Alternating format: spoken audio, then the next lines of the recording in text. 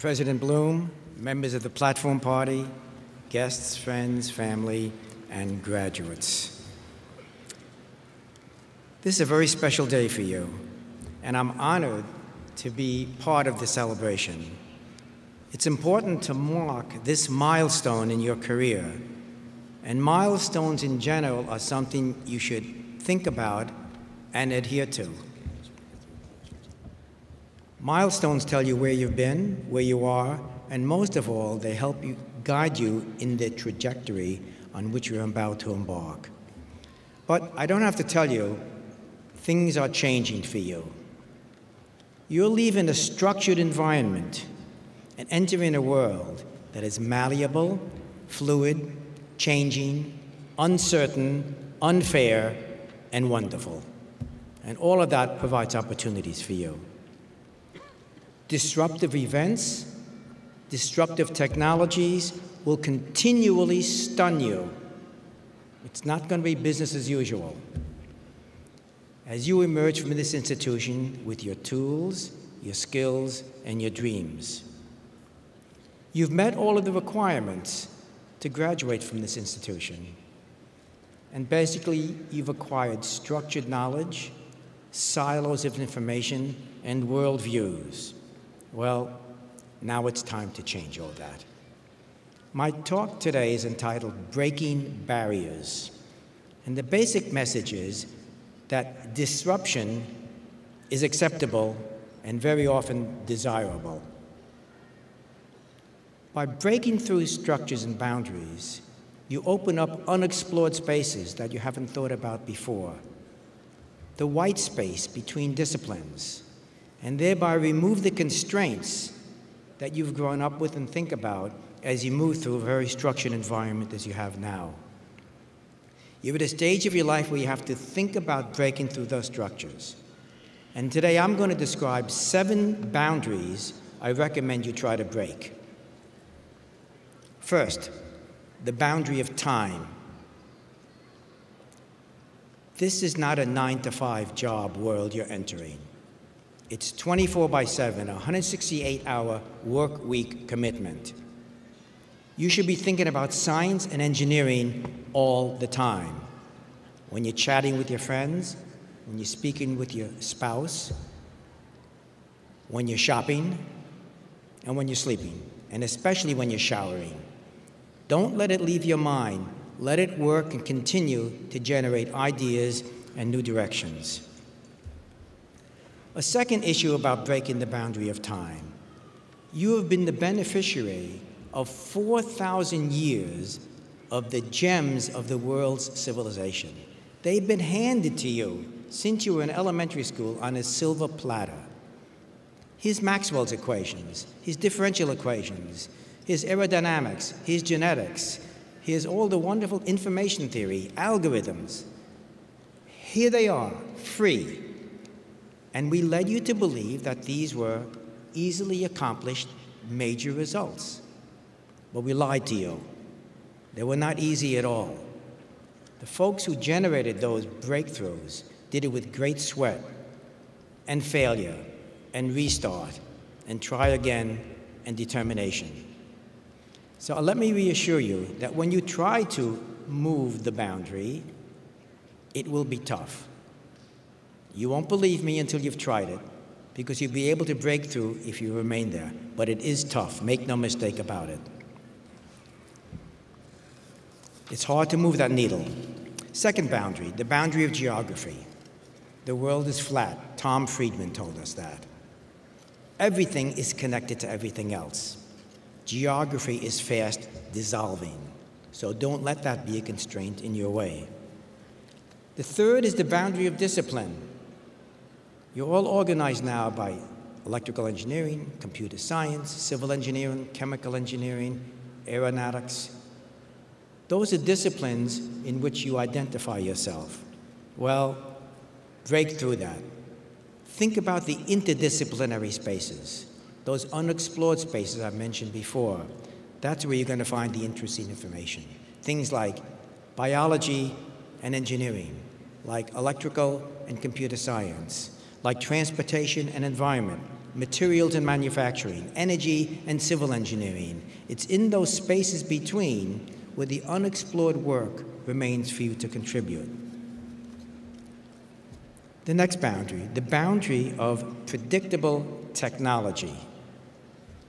You've all grown up with the internet and you've watched it evolve. And it's not hard to predict what the infrastructure of the internet will be as we move forward. It'll contain mobility, Internet of Things, wireless, a variety of things you could foresee. But what we can't predict are the applications and services that have come about. We've seen a constant stream of surprising applications that hit us in the side of the head, surprised us, exploded, and dominated our thinking. Let me give you some examples. Email, nobody saw it coming. The World Wide Web, Google, peer to peer file sharing networks, YouTube, Facebook, blogs, Instagram, Snapchat. Nobody saw them coming, and when they came, they took over. So, what we created in terms of applications and services is a system that will constantly shock us with surprises. How wonderful that is. Therein lies your opportunity to invent and create and offer your own services. The fifth boundary, the boundary of self limitation. The byline here is reach beyond your grasp. And I'm going to give you a personal story there. When I was a young man in the Boy Scouts, I reached a certain stage, and my scoutmaster challenged me, he dared me to become the first Eagle Scout in our troop. Now, this was clearly beyond my grasp. I couldn't quite see how to get there. It was going to take a lot of work and a lot of uncertainty. Well, I took the challenge, I got the Eagle Scout, and by doing so, I recognized that I could achieve if I tried hard enough. Don't underestimate your abilities because once you get that first success, it'll give you the confidence to achieve yet many more successes along the way. Sixth boundary, the boundary of peer pressure to which you've been subject your entire life. My advice to you is don't follow the pack. Break out into new territory. And again, I'm going to give you a personal story here. When I got my master's degree at MIT, as you heard, I was done. I had a child, I was married, ready to take a job at MIT doing research. And my supervisor said, You've got to get a PhD. And I said, I don't want one. You got to get it. So I said, Okay, I'll agree on two conditions that I set for myself. Condition number one I'm going to work for the absolutely best professor that I know of at MIT. And secondly, whatever I do, I want to have impact. I want it to make a difference. I don't want to piddle around for three or four years making a small nothing. Well, the professor I choose, I chose, a gentleman named Claude Shannon. And if you don't recognize that name, tonight go on Google and find out who he was and what he did. He's considered the father of the information revolution, a brilliant man. So I started to work with him. And then I looked around at my classmates, and all of them were working on the kind of work that he had done. He had developed information theory and coding theory, and he had established the fundamental principles of that field. All my classmates were working on remaining small problems that were hard and probably of little significance and I said, that's not what I signed up for. Meanwhile, I was surrounded by computers at MIT, and I said, you know, someday they're going to have to talk with each other. And there was no adequate technology to allow that to happen. Now, here was a problem which was unexplored, would have impact if I could solve it, and I had an approach that was for me. And so I set out doing something none of my other classmates were interested in, and I broke through and I was able to accomplish some of the things you heard about today. So the point is don't follow the pack, break that boundary. So the seventh boundary, the boundary of your own internal constraints. A wake up call is a really good thing if you respond to it correctly. Another personal story. When I first got to MIT, I had come here from CCNY just across the river, with rather limited study habits. I'd, I'd, take a piece of paper like this with the basic equations and study on the subway as I went back and forth to work. I went to evening session at CCNY. And I scored very high at CCNY. I got to MIT. MIT is an intimidating place. The physical structure, the students, the faculty, and I figured I'll sail right through this. The first course I took was a course in which they told me they would separate the men from the boys.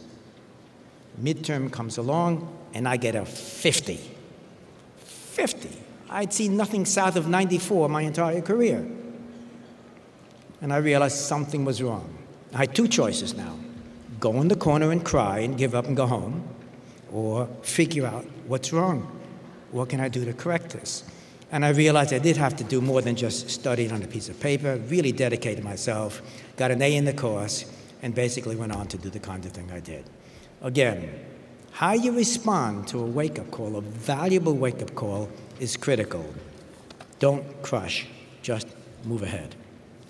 So, those are the seven boundaries I wanted to mention to you the boundary of time, geography, discipline, predictable technology, self limitation, peer pressure, and removing internal constraints. Now, the opportunities in front of you are incredible. The internet has given you, this younger generation, a system that you can't imagine living without. You share your photos, you have to do that all the time, streaming video, shopping online, chat with your friends. But as we move ahead and accept all of this, you have to wonder where did it all come from? What can we learn from the past about these wonders at our, at our hands? So again, another story. Story is there's an elderly gentleman sitting in the bleachers watching a ball game. And sitting next to him is a millennial, one of you, also watching the game. The game goes on, and every so often the young man looks at the old man, and finally he says, Excuse me, sir, I have no way to relate to you. When you were a young man, there was no television, there were no computers, there was no internet, no smartphones, no Facebook. I don't know how to relate to you. And the old man looks at him and he says, You know, son, you're right. We didn't have those things. So we had to invent them. What the heck are you going to do for the next generation? You. What are you going to do for the next generation? Think about it. So,